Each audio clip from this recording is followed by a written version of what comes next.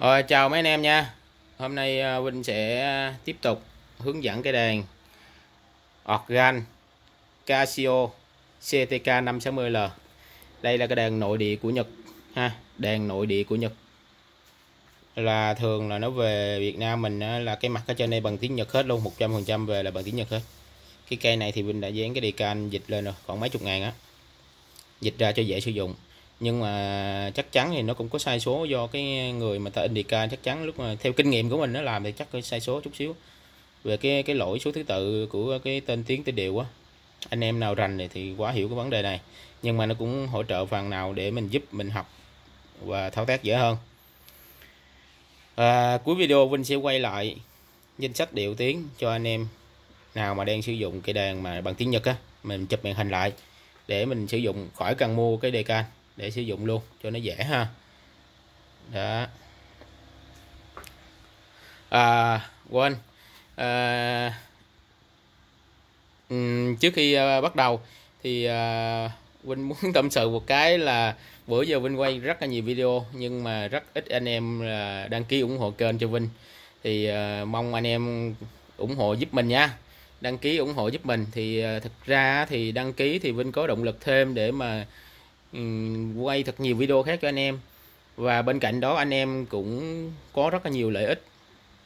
Tại vì sao? Tại vì thì Vinh đang đã đã làm đã đang và sẽ ra rất là nhiều video.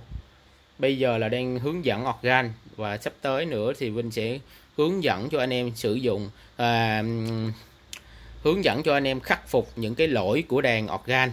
À, bệnh lỗi của đàn organ nè đèn piano điện nè piano cơ nè rồi cách là mà để ờ, bảo trì nè cách ờ, làm đẹp đàn nè cách lau chùi nè cách xử lý đàn, nói chung là rất là nhiều thứ mà anh em nếu mà mang ra tiệm là tốn rất là nhiều tiền đó anh em. Tại biết sao không? Tại nhiều khi á, thứ nhất là người ta chém nè thứ hai là cái việc đó có nhiều người nó không đáng tiền nhưng mà người ta phải tốn công của người ta, hiểu không? Nó phải làm bằng cái, nói chung là nó dễ làm nhưng mà nó lại mất thời gian á anh em. Ý là vậy đó thì người ta sẽ lấy công mình nhiều. Thì thay vì vậy nó đơn giản thì anh em tự làm ở nhà được. Thì Vinh sẽ một khi mà trong quá trình làm, Vinh chỉ gặp vấn đề nào mà đơn giản mà có thể anh em làm được thì Vinh sẽ chỉ cho anh em luôn. Anh em tự làm ở nhà. Mình bỏ chút thời gian của mình ra. Mình nghiên cứu, mình làm, đỡ tốn mấy trăm ngàn, mấy triệu. Có tùy tiền bệnh, có nhiều cái nó mắc tiền lắm anh em ví dụ như cái đèn binocle đó à, bây giờ mình thay cái bộ phím là đã một triệu mấy rồi.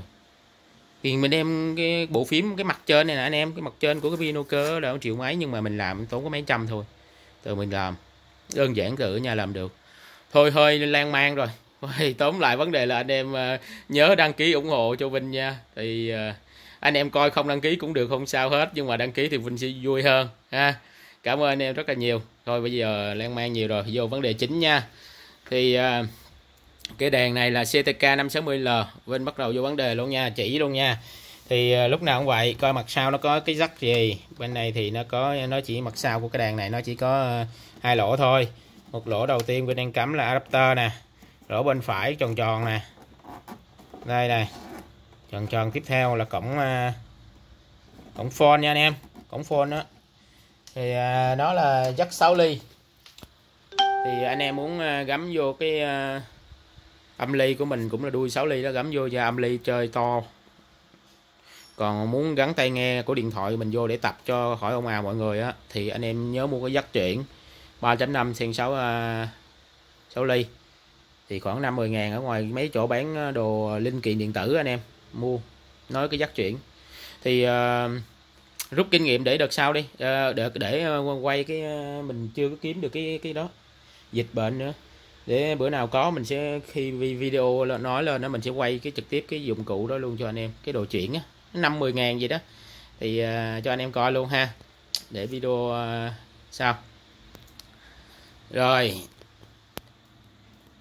Bây giờ mình vô luôn. Là cái đèn này cái đèn phím sáng nha. Khi cắm nguồn xong rồi anh em muốn mở nguồn thì anh em bật lên cái nắp đầu tiên. Thì cái chấm đầu tiên đó mọi người đó là cái đèn mặt lên. Thì uh, mọi người có chú ý là ba cái chấm này nó nó nó bị lệch nha.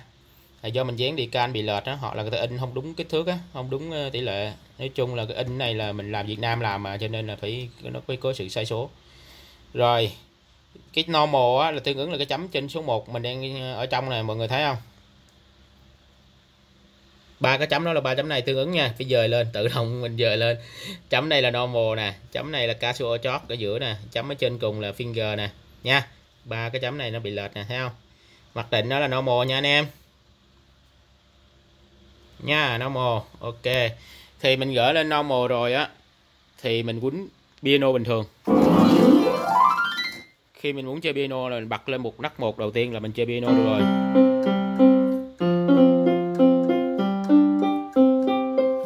Chơi piano được rồi. Mình chỉ ờ, không cần bấm gì thêm mình chỉ ờ, ờ, chỉnh volume cho nó theo ý của mình thôi. À, đây là nút volume tăng giảm.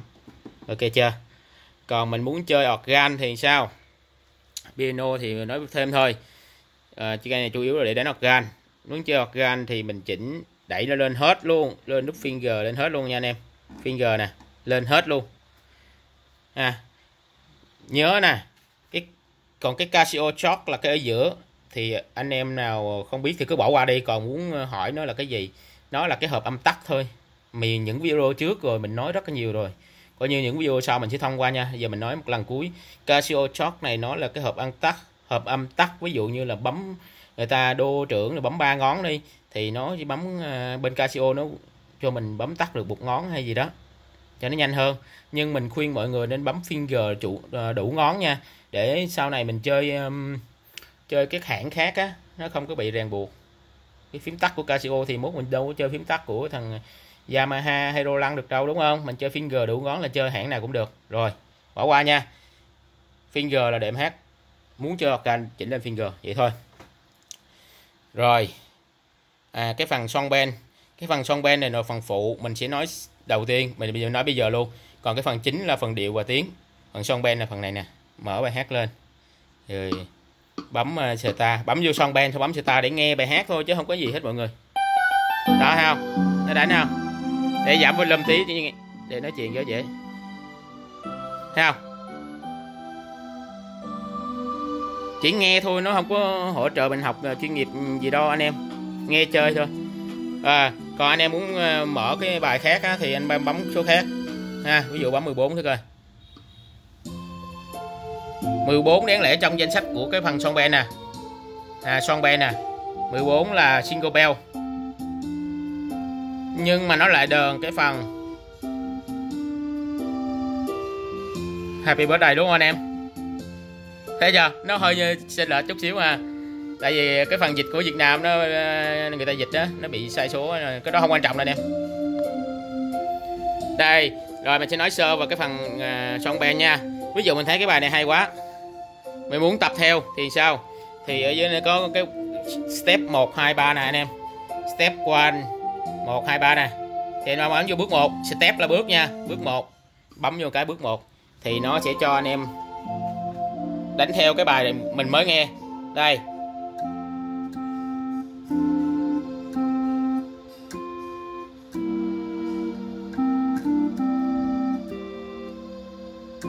À, nó đánh theo vậy thôi nó không có chỉ mình xếp ngón. Mình xếp ngón sao cho nó chuẩn nữa chứ không phải bấm dưới này chỉ ý cho mấy em bé à, vọt vọc chơi thôi chứ còn mà để học chuyên nghiệp cũng không mình nghĩ là cũng không tốt lắm đâu. Đó, rồi bước 2 thì nó sẽ nhanh hơn bước 3 nhanh hơn nữa bước 3 nó sẽ vô nhạc luôn cho nó bài bản hơn nữa. Nhưng mà mình nghĩ cái nhạc này chỉ nghe chơi thôi không có hỗ trợ anh em nhiều trong cái phần học organ chuyên nghiệp đâu. Cho nên mình quay à, mình chỉ nói sơ vậy thôi ha thì mình sẽ thông qua cái phần này luôn phần son band luôn. Son ben và những cái nút hồng hồng để tập luôn rồi mình sẽ vô phần chính. Vô phần chính là phần điệu và tiếng. Video nào mình cũng nói. Điệu là sao? Điệu và tiếng là chính trong vấn đề, trong cái quá trình mình học organ. Mình phải biết gọi điệu ra. Gọi điệu tức là mình biết bấm điệu nào đúng cái, mình đang cần điệu nào phải bấm đúng cái điệu đó ra. Tiếng nào mình đang cần phải bấm đúng cái tiếng đó ra. Điệu là gì? Tiếng là gì? Đầu tiên phải hiểu được cái vấn đề đó. Điệu tức là điệu nhạc điệu là điệu nhạc, là điệu rumba cha cha silo, van, vân vân. Tiếng là gì?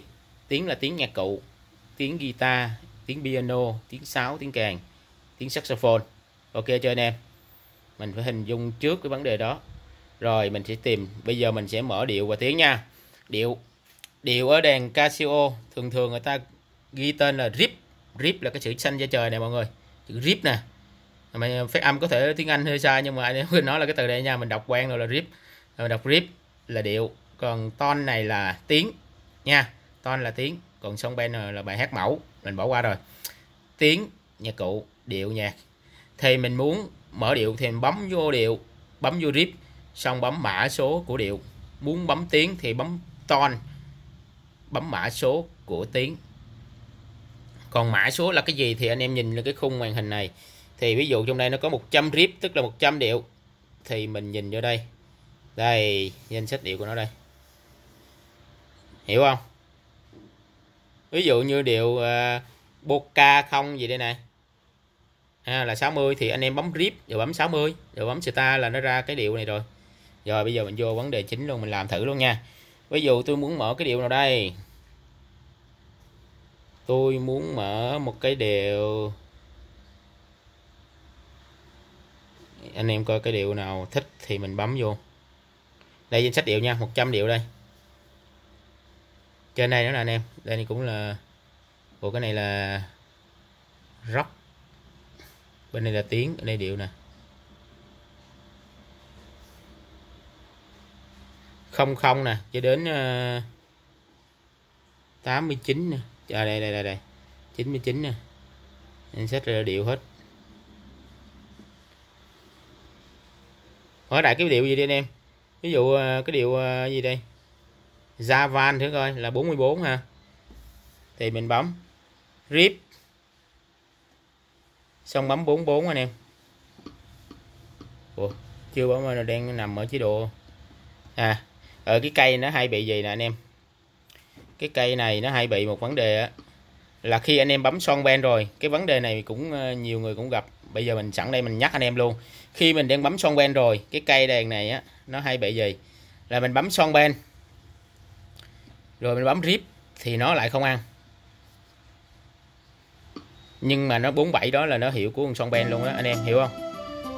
Bây giờ để khắc phục cái, trên cái cây này, anh em khi mà đang mở son ben mà muốn chơi organ lại thì anh em tắt nguồn đi, ha. Mở lại cho mình nha, tắt nguồn mở lại nha cái cây đó nó vậy chứ không phải nó hư nha. Cây đó là nó vậy. Rồi anh em bấm rip nha. Rồi bấm. Cái điều hồi nãy mình nói là cái điều ra van là 44 đó anh em. 44 rồi bấm seta. Gọi trống ha. Gọi trống nè. Rồi anh em nhớ kiểm tra nó ở finger nha. Rồi mình vô hộp âm. Hộp âm thì à, anh em học mới biết nha. Cái giọng của người ta hát gì á và cách bấm như thế nào mình học mình mới biết. Ha à, anh em hiểu chưa? Muốn mở điệu nói lại nha muốn mở điệu thì mình bấm rip rồi bấm mã số điệu. Nha. Rồi ví dụ lại. Bây giờ tôi muốn mở cái điệu rumba. Rumba anh em thấy chưa? Số 73 nha. 73 thì anh em bấm rip 73 rip. 7 đâu trời. 73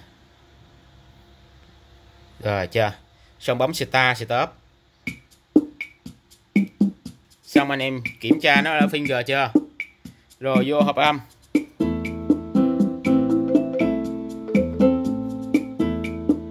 Hiểu chưa? Hiểu chưa anh em? Cái nút này là cái nút chức năng của nó là tắt. Mở mở trống. Tắt trống. Mở trống. Mở trống xong vô hợp âm. Nó mới vô cái giọng nha. À sao chưa? Tắt. Lum rồi anh em thấy dụ cái điệu này, anh em thấy nó đánh nhanh quá. Muốn giảm giảm cái à, cái tốc độ đánh của nó lại, thì giảm cái tempo xuống. Đánh chậm lại anh em hiểu không? Đánh chậm này nè. Còn tempo bên bên phải nè, là đánh nhanh hơn. Đánh nhanh lên. Hiểu không? Bên trái là chậm. Còn anh em muốn quay về mặc định thì anh em bấm đồng lúc trái phải luôn, đè xuống cùng lúc. Thì nó về cái mặc định, cái tempo mặc định của cái điệu này trên cái đàn này. Ha và rumba thường thường ta chơi chậm thôi.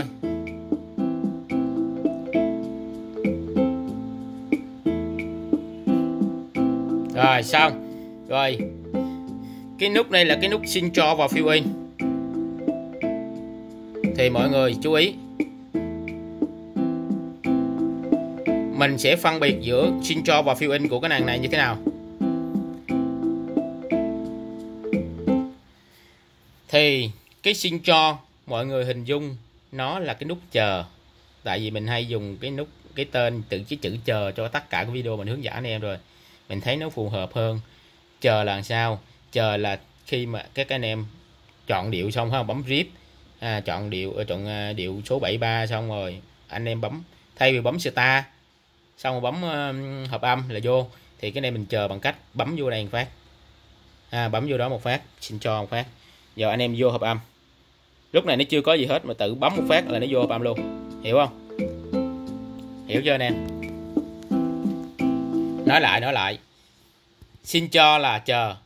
Tức là chưa bấm star chưa cứ bầm chưa có gõ trống luôn chưa có gì hết. Chưa mình chỉ bấm rip rồi bấm mã số. Bắt đầu mình bấm một phát vô xin cho. Bắt đầu là mình đẩy để tay sẵn ngay chỗ hợp âm. Khi nào mình muốn vô nhạc nền thì mình bấm hợp âm xuống. Ví dụ như à, trong lúc đó thì bên phải mình quýnh bình thường nha. Bên phần hợp âm thì mình khi nào mình nhắn hợp đúng hợp âm xuống thì nó mới là vô điệu giống như ờ, thường người ta áp dụng vô cuối câu á, cuối ờ, cuối câu, ví dụ như là cái bài đó phải ờ, người ta hát hết câu đầu á thì mình mới vô, thì mình áp dụng cái này nó dễ hơn. Hoặc là có nhiều người người ta hò, người ta rao đồ đầu câu cái kiểu á, để cho mấy người ta quýnh nhạc dân tộc theo á. Bắt đầu vô khúc nhạc á thì mình mới vô, thì mình bấm sẵn cái nút xin cho đi, ha. Bắt đầu khi mà người ta bắt đầu vô nhạc cái mình vô. Hiểu không mọi người? Đó ha. Còn cái nút à, uh, fill in là sao? Tại sao nó là xin cho và fill in mà có một nút à? Thì mình phân biệt luôn. Cái xin cho này khi mình chưa chưa có nhạc nền chưa có gì hết chưa có trống chưa có nhạc nền gì luôn thì mình bấm nó một phát rồi mình vô hợp âm là nó vô. Còn cái fill in trong trường hợp nó dùng cái từ fill in trong trường hợp khi mình đang đánh nửa chừng khi mình đang đánh nhạc bình thường thì mình bấm cái nút đây một lần nữa thì nó là fill in. Fill in tức là dồn trống dồn trống để nó chuyển qua câu khác, đoạn khác. Ví dụ như là đang ở phần phiên khúc ờ, chuyển qua điệp khúc. Anh em hiểu không? Đó, nó dồn trống để nó đổi qua đoạn khác. Là mình làm thử nha. Bây giờ mình làm thử. Mình đã mở rip và bấm mã số rồi. Thì mình bấm star dù vô hộp âm cũng được. Còn không, mình bấm xin cho. Rồi mình vô hộp âm cũng được. Nó khác nhau nha. Khi mình bấm star stop á, thì nó sẽ gõ trống lên trước. Xong mình vô hộp âm, nó mới vô phần à, phần giọng, gọi là cơm á. Còn cái này mình bấm, xin cho là nó im re luôn, nó không có gì hết á. Khi nào mình bấm hợp âm nó mới vô. Nè, vô giọng luôn. Thấy chưa? Thấy chưa mọi người? Rồi, khi nó đang đánh bình thường thì mình bấm một lúc nữa. Đó, là nó phiêu anh em thấy nó dồn trống không? Nè.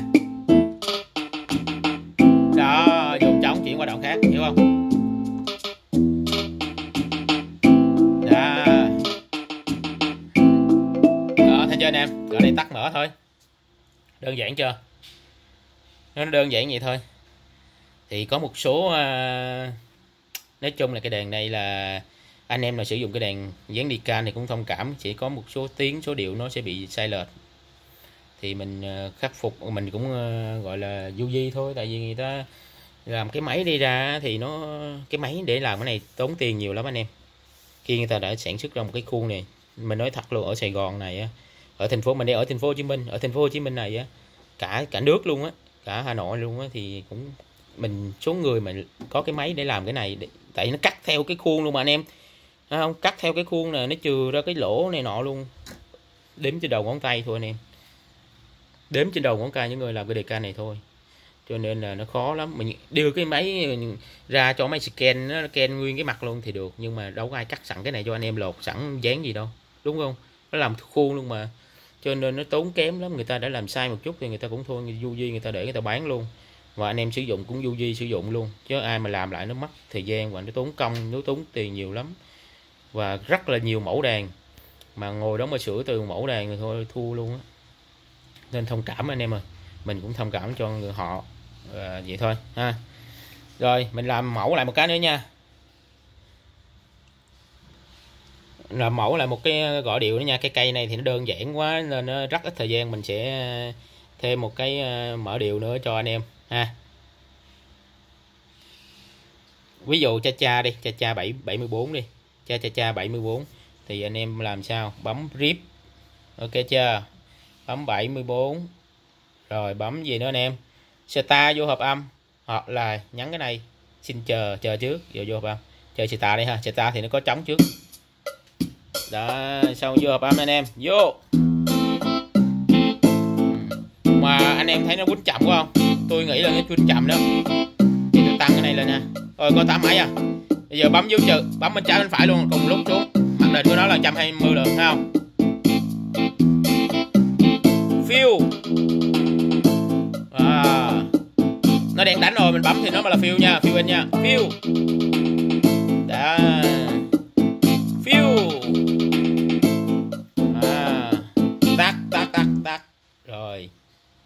quá dễ anh em ha. Thì cái phần tiếng chọn nhạc cụ chọn tiếng nhạc cụ thì nó tương tự nha anh em. Thì anh em muốn chọn tiếng thì anh em bấm ton ha xong bấm mã số tiếng. Là anh em quýnh xuống bàn phím nó khỏi bấm ta quấn xuống bàn phím nó đã thay đổi rồi. Ví dụ như là nó đang ở ton thì mình bấm ton lại cũng không sao. Ton 55 cũng được. 55 tiếng khác tiếng gì? Đó đổi tiếng khác anh em ha. Ừ, ví dụ à, 23 coi đó là tiếng khác à hiểu không anh em. 69 nha. À, tại vì mình bấm mấy cái sau rồi mình không cần bấm ton. Tại hồi nãy mình bấm ton đầu tiên nó đang hiểu là ton rồi. Còn không bấm ton lại cũng được đâu có sao đâu. 88 coi. Ok anh em ha. Tại sao bây giờ anh em muốn quýnh tiếng nào thì nhìn lên đây thôi nè.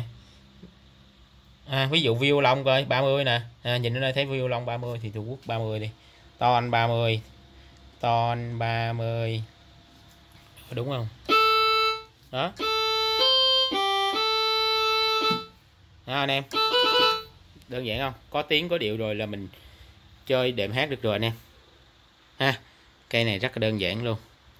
Rồi, còn cái phần nào nữa không? Còn hai cái nút này, màu vàng này chưa nói. Cái nút này, cái nút demo mở nhạc nghe giống như son bèn thôi anh em. Demo cây nào cũng có đó còn cái nút này là nút key light key light tức là cái nút nút đàn đó nè đèn sáng phím này tại cái đèn này mặc định của nó là anh em đánh phím nào sáng phím đó. Thấy không? Thấy cái sáng đỏ đỏ không? Còn anh em nào ghét quá kêu đứa màu mè quá thì mình tắt đi. À, bấm cái nút này phát bấm. Rồi đánh. À, không có sáng đèn nữa thấy không? Không có sáng đèn. Muốn mở lại thì mở ha. Mở lại thì mở. Đó thấy chưa nè? À, rồi vậy đi ha. Rồi anh em à, có thắc mắc gì thì cứ inbox zalo của mình thì mình hay à, trả lời à, mình hay cầm zalo hơn. Youtube cũng ít khi mình à, cũng à, youtube cũng được thì mình vẫn trả lời còn zalo dễ trao đổi hơn anh em nhắn tin nó dễ hơn. Zalo của mình số điện thoại 0932 79 9986 à, rồi mình sẽ trong quá trình zoom lại thì à, giờ quên để nó zoom lại cho anh em ghi lại cái mã số mà ha. Rồi anh em coi nha. Anh em nhớ à, like và chia sẻ giùm bên nha. Like chia sẻ giùm bên nha.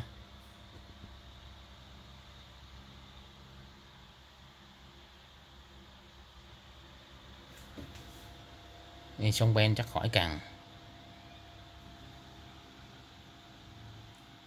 Rồi, nhớ like, chia sẻ giùm Vinh nha. Rồi, cảm ơn em rất nhiều luôn.